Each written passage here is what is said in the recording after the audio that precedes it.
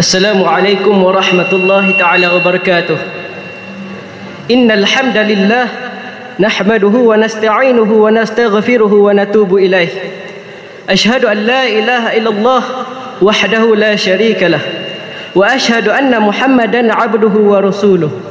Allahumma salli wa sallim ala nabiyyina Muhammadin wa ala alihi wa sahbihi wa man da'a bi da'watihi ila yaumiddin.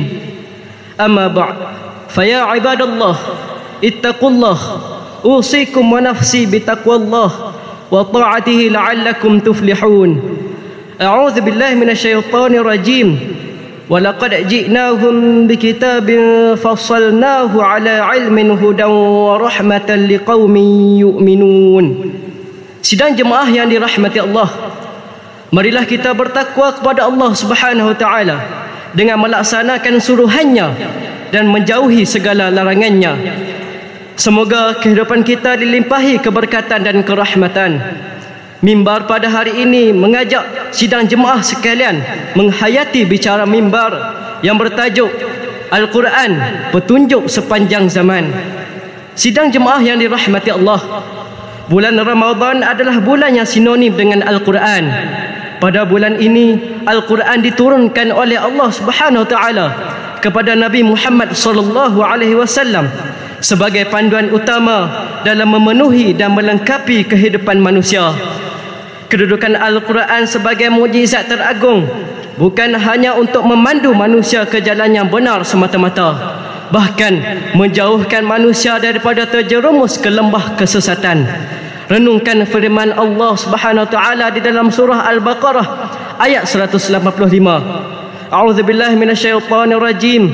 Syahrul ramadhan alladhi unzila fihi al-quran hudal linnasi wa bayyinatin minal huda wal furqan. Yang bermaksud masa yang diwajibkan kamu berpuasa itu ialah bulan Ramadan yang padanya diturunkan Al-Quran menjadi petunjuk bagi sekalian manusia dan menjadi keterangan-keterangan yang menjelaskan petunjuk dan menjelaskan perbezaan antara yang benar dengan yang salah Beberapa hari sahaja lagi kita akan menyambut kedatangan Ramadan Al-Mubarak. Bulan yang amat dirindui dan dinanti-nanti oleh orang-orang yang bertakwa. Bagaimanakah agaknya persediaan Al-Quran kita dalam menyambut bulan Ramadan ini? Apakah kita telah membudayakan pembacaan Al-Quran dalam jadual seharian atau masih tidak endah akan kepentingan membaca dan memahami Al-Quran? Ayuh kita persiapkan minda, jiwa dan roh untuk menjadikan Al-Quran sebagai tetamu utama sepanjang bulan Ramadan. Lihatlah bagaimana kesungguhan Nabi sallallahu alaihi wasallam dengan Al-Quran setiap kali tibanya bulan Ramadan.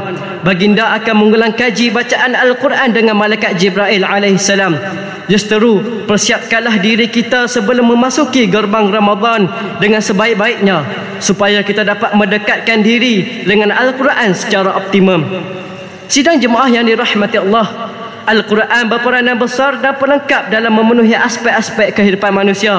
Ia bukan sahaja membina akidah yang sahih dan mantap, bahkan mensejahterakan minda, membezakan di antara perkara yang hak dan yang batil, membentuk dan mencorak kehidupan berlandaskan ilmu serta memandu manusia dalam mengatur dan membina sebuah sistem sosial yang sempurna. Dalam pada itu, Al-Quran juga turut berperanan dalam pembentukan institusi kekeluargaan, memelihara dan memelihara alam sekitar, sistem kejiranan, kemajuan sains dan teknologi, sumber kuasa elektrik dan air, Ke- sistem kejiranan, kemajuan sains dan teknologi, sumber kuasa elektrik dan air, sistem pendidikan, keharmonian dan kesejahteraan rakyat dan apa sahaja yang perlu dan mendesak dalam kehidupan manusia di atas dunia. Inilah kehebatan Al-Quran yang diturunkan di bulan Ramadhan yang mulia ini yang merupakan jantung kehidupan umat Islam sepanjang masa. Peranan Al-Quran ini tentunya memberi impak yang besar dalam sistem pengurusan dan tadbir urus kehidupan manusia panduan daripada Al-Quran sememangnya adalah yang terbaik. Justeru, jadikanlah Al-Quran sebagai rujukan utama dan bukan hanya memberi tumpuan dalam pembacaan Al-Quran semata-mata tanpa mengambil manfaat daripada intipati Al-Quran itu sendiri. Mengakhiri khutbah pada hari ini, renungkan firman Allah Subhanahu wa taala di dalam surah Al-Isra ayat 9. A'udzu billahi minasyaitonir rajim. Inna hadzal Qur'an yahdi lillati hiya aqwa Ya أقوم ويبشر المؤمنين الذين يعملون الصالحات أن لهم ajran kabira.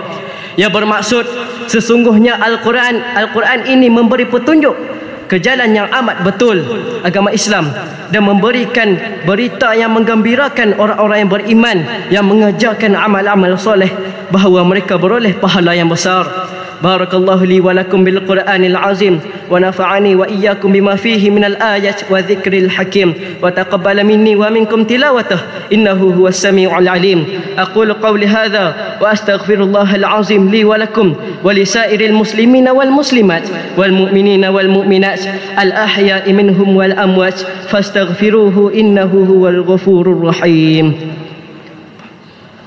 الحمد لله حمدا كثيرا كما أمر أشهد أن لا إله إلا الله وحده لا شريك له وأشهد أن سيدنا محمدا عبده ورسوله.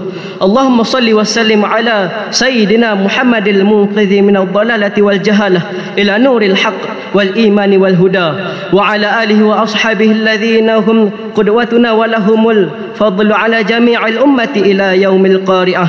أما بعد فيا عباد الله فإني أوصيكم ونفسي بتقوى الله العلي العظيم فاتقوه لعلكم تفلحون اتقوا الله من سماع اللغو وفضول الخبر وانتهوا عما نهاكم عنه وزجر فقال الله تعالى أعوذ بالله من الشيطان الرجيم يا أيها الذين آمنوا اتقوا الله ولتنظر نفس ما قدمت لغد واتقوا الله إن الله خبير بما تعملون واعلموا أن الله أمر أمركم بأمر عظيم أمركم بالصلاة والسلام على نبيه الكريم فقال إن الله وملائكته يصلون على النبي.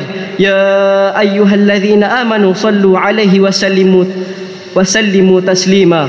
Allahumma salli wa sallim ala sayyidina Muhammad wa ala آله وأصحابه أجمعين.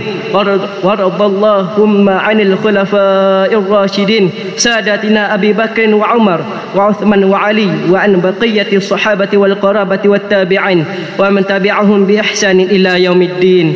اللهم اغفر للمسلمين والمسلمات والمؤمنين والمؤمنات الأحياء منهم والأموات. إنك سميع قريب مجيب الدعوات. يا قاضي الحاجات يا رب العالمين. اللهم اجعل هذا بلد آمنا مطمئنا اللهم أصلح أئمتنا وولاة أمورنا واشمل اللهم بعنايتك وتوفيقك جلالة المالك مولانا الآمن بن الكريم السلطان صلاح الدين ابن المرحم سلطان بدلي شاه وولي العهد دولي yang teramat mulia Tengku Syarafuddin Badili Shah Ibn Sultan Salahuddin وجميع الأسرة الملكية اللهم وفقهم للسداد وأصلح بهم بعد عباد والبلاد. واجعل التقوى لهم خير ذات. إنك رؤوف رحيم الجوات يا لطيفا بالعباد. يا أرحم الراحمين. عباد الله إن الله يأمر بالعدل والإحسان. وإيتاء ذي القربى وينهى عن الفحشاء والمنكر والمنكر والبغي. يعزكم لعلكم تذكرون. فاذكروا الله العظيم يذكركم. واشكروه نعمه يزدكم واسألوه من فضله يعطيكم ولذكر الله أكبر والله يعلم ما تصنعون تصنعون